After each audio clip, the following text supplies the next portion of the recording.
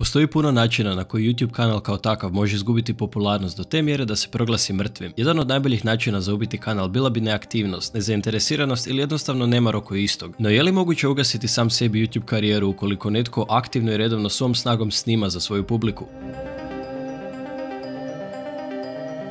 Luka Černelli, poznati pod svojim YouTube nazivom Lavek, je profesionalni gamer i YouTuber koji se proslavio svojim zanimljivim gameplayom i komentarijem snimajući Brawl Stars, najpopularniju mobilnu igru kroz 2018. i 2019. godinu. Luka je u svojim tineđerskim godinama sudjelovao na raznim natjecanjima, igrajući videoigricu pod nazivom Hearthstone, kojom je publici svakako pokazao da je materijal za kompetitivnog gamera. Još od je snimao razne videe o Hearthstoneu na YouTubeu, no njegovi videi isprva nikada nisu prikupili neki značajniji broj gledatelja. Njegov će se život naime u potpunosti promijeniti početkom 2018. kada je Lavek napravio nešto što niti jedna normalna osoba nikad ne bi napravila. Pozdrav svima ekipo, ja sam Lavek i dobrodošli u novi video. U ljeti 2017. Supercell, kompanija jednih od najvećih mobilnih igrica poput Clash of Clansa, Heydaya, Clash Royale i ostalih, je izbacila novu igru pod nazivom Brawl Stars. Igra koja će za pola godine biti najveći hit na gotovo svakom mobitelu. Lavek, odnosno Luka, se kao i desetine milijuna igrača okušao Brawl Starsu i bio je od početka talentiraniji u igrici i bolji od prosjeka. Prijatelji i gledatelji su ga nagovarali da se krene ozbiljnije baviti Brawl Starsom te da razmisli o gradnji karijere pomoću iste. Luka je tada odlučio potrošiti 1500 eura na igricu kao da je ništa i maksati svoj account kako bi imao najveće moguće šanse za što većim postignućem. Krenuo je izbacivati par videa na YouTube, no onda je uslijedio veliki preokret.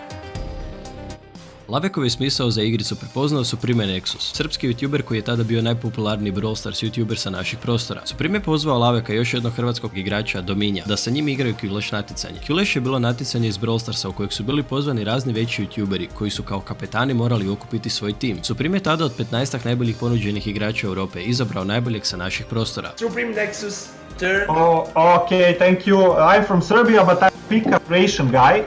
Lavek his name, great guy from Croatia, one of the great players, so that will be my first pick. Oh yeah, I know him. I know him guys. Just looking at the first picks, we see insane players in insane teams. Nakon toga je Supreme, kao i ostali youtuberi sa turnira, trebao izabrati još jednog igrača, nekog iz community tko se javi u komentare videa. Supreme je tada izabrao hrvatskog igrača Dominja, te su njih troje sada sačinjavali tim koji predstavlja Srbiju. Znači skupili smo se ja i dva momka iz Hrvatske, Lavek profesionalni igrač i Dominjo community igrač da igramo Q turnir protiv države Britanije, ja igram Spike, Dominio igra Annie. Natjecanje je pratilo stotine tisuća gledatelja iz videa u video i ovakav je tip sadržaja u kojem YouTuber jednostavno komentira Brawl Stars gameplay postao sve popularniji na balkanskoj YouTube sceni. Nakon pet mečeva protiv jednih od najsnažnijih reprezentacija u svijetu, Španjolske, Velike Britanije, Francuske, Italije i Njemačke, naši su se dečki našli na posljednjem mjestu jer su uspjeli pobijediti samo Njemačku. U natjecanju je bilo očito da baš i nisu imali sreće na svom prvom velikom turniru, no kako god je Kuleš turnir završio, Lavek i Dominju su napokon bili prepoznati od ogromnog broja ljudi i napokon su dobili publiku koju zaslužuju. Suprimova je reklama za Laveka bila ogromna odskočna daska, te je Lavek u svega par tjedana došao do visokih 20.000 subscribera. Luka je tada vidio da ima velike šanse stvoriti nešto novo od ove igrice, te je aktivno krenuo snimati razne videe koji su za početnika dobivali ogromnu gledanost. U svojim bi videima uglavnom pokazivao i komentirao svoje znanje o igrici, kojim bi zabavio publiku i također ju naučio kako da postanu bolji u Brawl Starsu uz neke jednostavne poteze i trikove. Luka je iz starta imao veliku publiku koju je samo nastavio graditi, a ono što ga je činilo zanimljivim su njegovi live streamovi koje je radio skoro svaki dan u kojima bi kao najbolji igrač sa ovih prostora gledateljima uživo servirao gameplay protiv ostalih najjačih igrača svijeta. I imam sad super,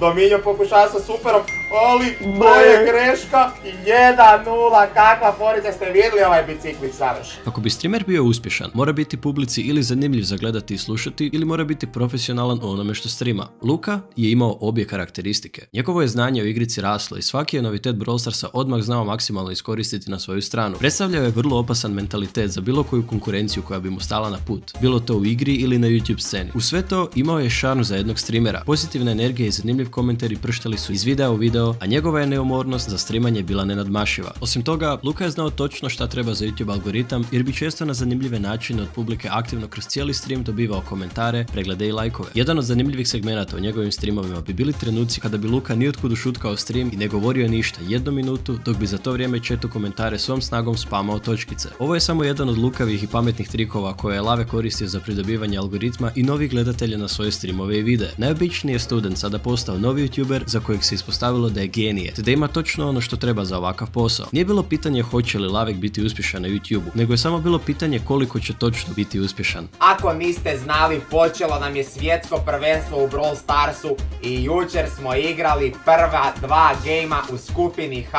Za dečke bi bilo čudo da pobjede uopće jedan meč jer je konkurencija bila poprilično jaka, no oni ne samo da su pobjedili i jedan meč, već su napravili senzaciju. Pobjedivši Argentinu i Chile 3-2, Luka, Inder i Dominio su prošli u osminu finala na Kolumbiju, koji su pobjedili nestvarnih 3-0, te im nisu ni dali šansu za opstanak na prvenstvu. U community je High bio na vrhuncu jer je Lavek zajedno sa svojim timom bio udaljen samo jednu igru od polufinala, no na tom ih je put dočekala Švicarska. Iako su Švicarci poveli 1-0, već je u drugoj rundi Hrvatska izjednačila, no iduće su dvije runde Švicarci sve iznenadili gotovo savršenom igrom i najboljim mogućim odabirom brolera, te su uzeli obe runde time pobjedivši Hrvatsku. Luka i dečki su bili razočarani, no community je bio i više nego ponosan radi priređenog zanimljivog iskustva. U ovom je trenutku ovaj trojac napravio drugi YouTube kanal koji je bio namijenjen za publiku iz cijeloga svijeta, jer se je taj kanal sačinjavao od kratkih videa koji bi prikazivali smiješne i zanimljive kompilacije iz igrice uz glazbu i efekte u pozadini. No nakon svega par videa, dečki su odustali od ovog projekta i kanal je zaboravljen.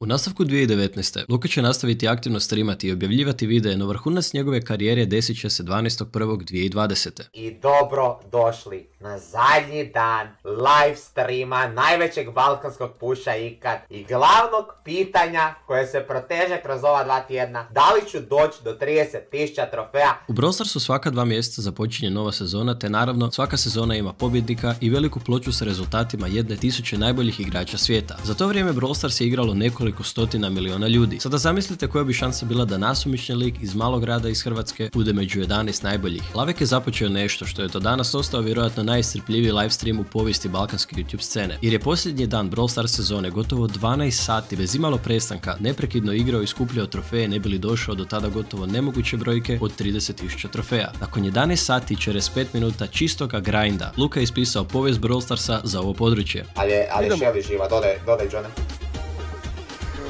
idemo, idemo hashtag 30k, evo nas! Od stotine miliona igrača, Luka je bio 11. najbolji u svijetu, tada najpopularniji igrice radi čega je bio gost u raznim emisijama i radi čega je izbacio svoju pjesmu koja je pregledima nadmašila svačije očekivanja. Ovo je također bilo savršeno vrijeme za izbacivanje mrča, koji je radi čitavog uzbuđenja bio jako dobro prodavan. Sada je već bilo očito da će ovaj kanal doseći najveće postignuće koje YouTuber može postići, a to je doći do YouTube play batona, odnosno visokih 100.000 pretplatnika. Ne desi se svaki dan da se nijotkud pojavi nasumični lik koji je dobar točno u onome što sve zanima i koji radi točno na onaj način koji svima paše. No kada se to desi, rast je takvog pojedinca velik i neizbježan. Lukina se YouTube karijera dojmala kao jedna od najuspješnijih i nepokolebljivih sa ovih prostora, no sa svakim velikim usponom u pravilu dolazi i veliki pad.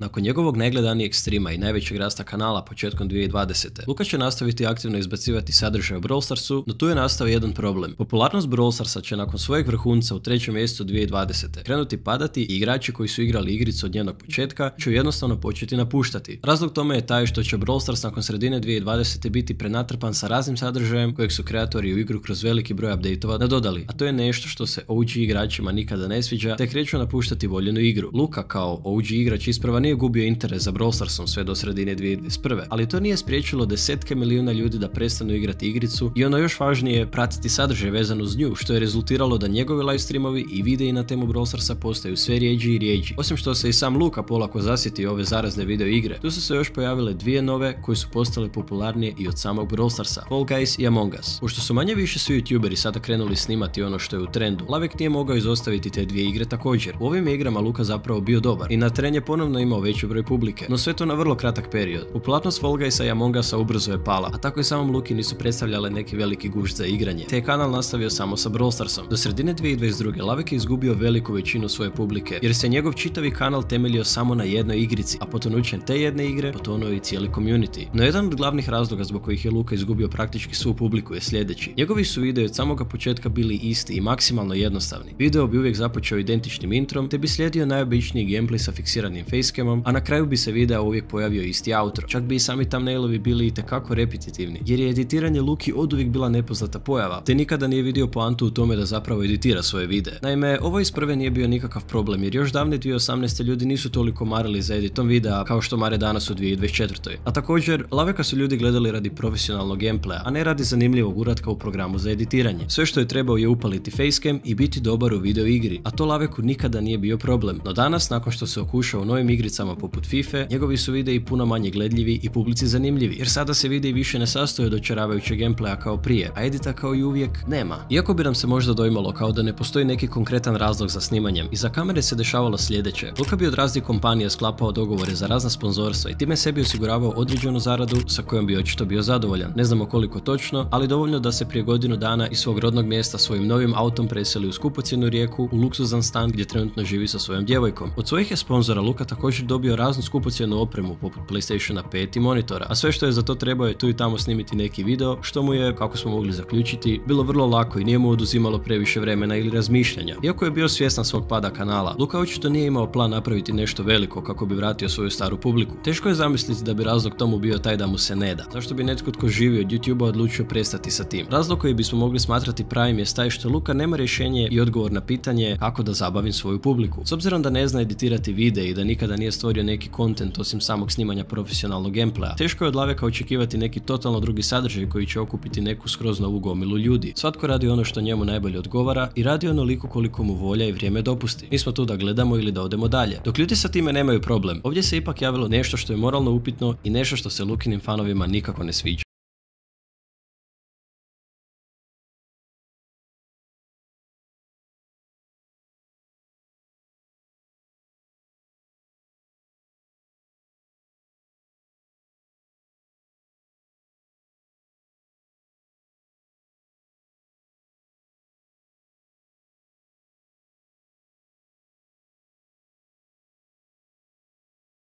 Lavek je prije 4 mjeseca nijotkud krenuo sa vrlo aktivnim snimanjem plaćenih promocija stranica igre na sreću, odnosno stranica za kockanje. U tim videima samo možemo vidjeti Luku kako vrti i reagira na osvojene dobitke, što je poprilično zanimljivo jer se sreća za osvojenim nagradama svakog tko je plaćen od tih istih stranica može staviti pod jedan veliki upitnik, odnosno možemo raspravljati je li stranica namještena posebno za Luku ili ne. Lavek je iz lika koji snima Brawl Stars za manji broj publike preko noći preuzeo ulogu lika koji će izvući maksimalan potencijal u smislu zarade od svojeg YouTube kanala prije no što od njega u potpunosti odustane, jer je u periodu od 4 mjeseca izbacio čak 70 gotovo identičnih videa koji su publici, u blagom smislu rečeno, zgadili kanal. I ne dojma se da Luka u skorije vrijeme misli stati sa izbacivanjem ovakvog tipa videa, s obzirom da su to jedini videi koje trenutno možemo vidjeti na njegovom kanalu. Jedini komentari koje publika ostavlja su komentari kritiziranja takvog ponašanja, odgovaranja Luke od snimanja istog i oni najgori okretanja leđa vlastitih fanova. Neki je tjedan Luka proslavio svoj 29. rođendan i na Instagramu je najavio specijalni video povodom toga, dok se dojmalo kao da da ćemo napokon vidjeti nešto novo. Novi je video bio samo još jedno klađenje, ali sa malo drugačijim naslovom. Luka trenutno jedva dostiže tisuću pregleda po videu, što nije niti 1% publike koje je nekad imao. Nastavili sa ovakvim sadržajem, možemo reći da je kreator isprva izvrsnog kanala ubio sve što je stvorio, jedino što preostaje proglasiti kanal mrtvim izvorom novca isključivo za Luku samog.